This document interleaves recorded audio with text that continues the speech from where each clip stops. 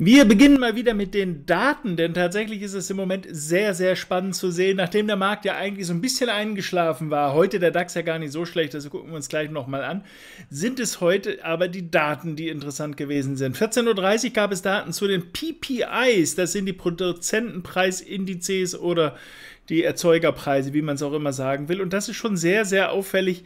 Ich habe hier mal eine Zeile markiert. Im Jahresvergleich hier 6,6 Prozent gestiegen. Erwartet war nur 6,3, also noch teurer als erwartet. Tja, was bedeutet das? Für die Unternehmen wird es immer teurer. Wenn es aber für die Unternehmen immer teurer wird, dann gibt es entweder zukünftig geringere Gewinne bei den Unternehmen oder aber höhere Preise für die Retail- äh, im Retail-Bereich, also sprich für das, was die Kunden dann hinlegen müssen. Das wird spannend, was die Inflationsfrage angeht. Und das ist ja ein ganz, ganz wesentliches Thema, was wir im Moment da auf dem Plan haben. Deshalb müssen wir gleich unbedingt mal kurz einen Blick auf Gold werfen und natürlich auch auf die Indizes. Also ihr seht, von der Seite aus gibt es eine ganze Menge Einfluss. Ansonsten hatten wir halt noch die Retail-Sales. Da seht ihr selber jetzt schnell drüber hier. Das äh, will ich gar nicht ganz äh, groß hier in den Fokus bringen. Die Zahlen sind sowieso sehr eigenartig, natürlich auch wegen Corona, wegen Lockdown hin oder her, sind äh, da natürlich die Zahlen ja etwas eigenartig, wie sie anmuten da tatsächlich. Aber na gut, das soll nicht das Thema jetzt für heute sein. Ich denke mal, die Inflationswerte, das ist das Entscheidende. Und Inflation, das wird immer schnell mit Gold in Verbindung gebracht. Da hatte ich ja gestern schon mal drüber gesprochen. Ich glaube, gestern, war es, ich weiß es nicht. Ich rede ja quasi täglich irgendwie darüber.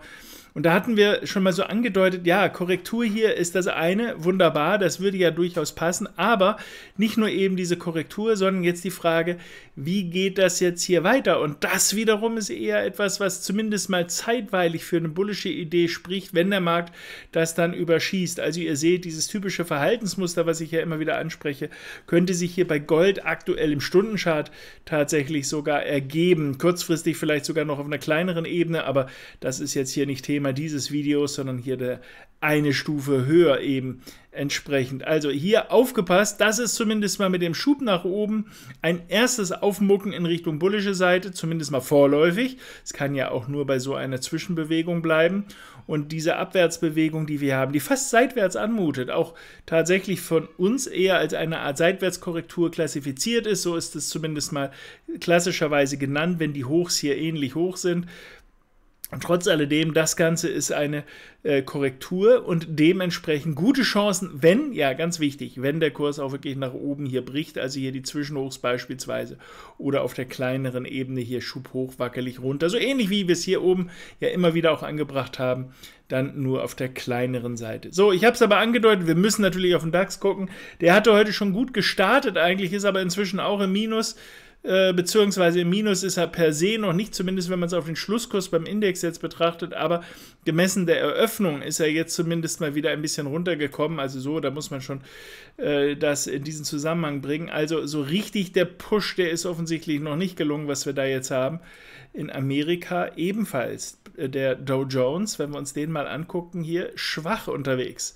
Allerdings auch im buchstäblichen Sinne schwach. Schwach zwar, was die Richtung angeht, also eben nicht mehr nach oben, aber eben auch schwach, weil nicht stark, nicht massiv nach unten. Wir haben zwar steile Flanken runter, ihr seht das. Hier ist eine steile Flanke, hier ist eine steile, jetzt aktuell steile Flanke runter aber auch ähnliche steile Flanken hoch, steile Flanken hoch, steile Flanken hoch. Das heißt, viel hin und her gewackelt. Ich denke, da wird sich auch vieles so ergeben noch bis zur morgigen Notenbank-Sitzung.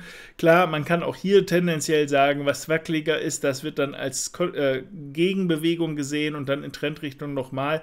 Also das könnt ihr natürlich heute Nachmittag dann gegebenenfalls auch nochmal fahren, wenn auch vorrangig bei den Indizes, den Blue Chips und dem Standardwerte-Index, hier jetzt der S&P 500, offensichtlich auf der Abwärtsseite, denn auch das hier ist eher etwas, was eben nach unten zeigt.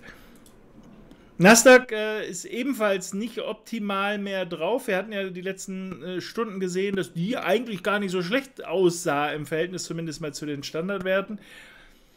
Jetzt holt es hier aber ebenfalls die Situation ein, denn ähm, die hohen, also noch deutlich höheren Erzeugerpreise, die lassen natürlich die Sorge nicht einschlafen, dass die Fed in irgendeiner Form morgen reagieren wird in der zweitägigen Sitzung. Heute sind sie ja schon dran, morgen wird dann vermeldet also die Sorge deshalb einigermaßen groß, dass da Tapering immer früher kommt, je mehr eben das mit der Inflation dann doch noch ein Thema wird.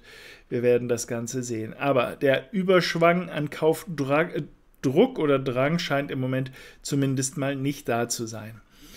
Na gut, wird es also wohl ein bisschen in der Verschnaufpause noch bleiben, bis möglicherweise auch morgen, bis wir die Notenbank hören, dann mit ihren Aussagen, nicht so sehr die Zinsentscheidung, die spielt eigentlich überhaupt gar keine Rolle, sondern die Frage, wie viel Geld soll noch künstlich kreiert werden oder soll Geld wieder zurückgeführt werden. Also das ist das entsprechende Thema. Dann geht das los, wie schnell, in welchen Größenordnungen und Schritten soll das Ganze stattfinden. Das ist, glaube ich, eigentlich das Moment, auf das der Markt aktuell eben wartet. Und bis dahin werden wir noch ein bisschen Geschwurbel in die eine und die andere Richtung sehen. Ich wünsche euch jetzt für eure Handelsentscheidungen erstmal alles Gute. Wer ähm, will und wer weiß, wer mitgemacht hat schon, der weiß, dass bei Born for Trading gibt es natürlich dann zusätzliche Informationen die wir dann auch im Laufe des Tages dann immer mal zwischendurch einstreuen über aktuelle Situationen, die man da handeln kann. Deshalb, äh, wer es nicht schon getan hat, kann das ja ruhig mal ausprobieren. Äh, einfach mal anmelden, mal gucken, was das Ganze ist. Ansonsten wünsche ich euch so oder so erstmal alles Gute und einen erfolgreichen Handelstag.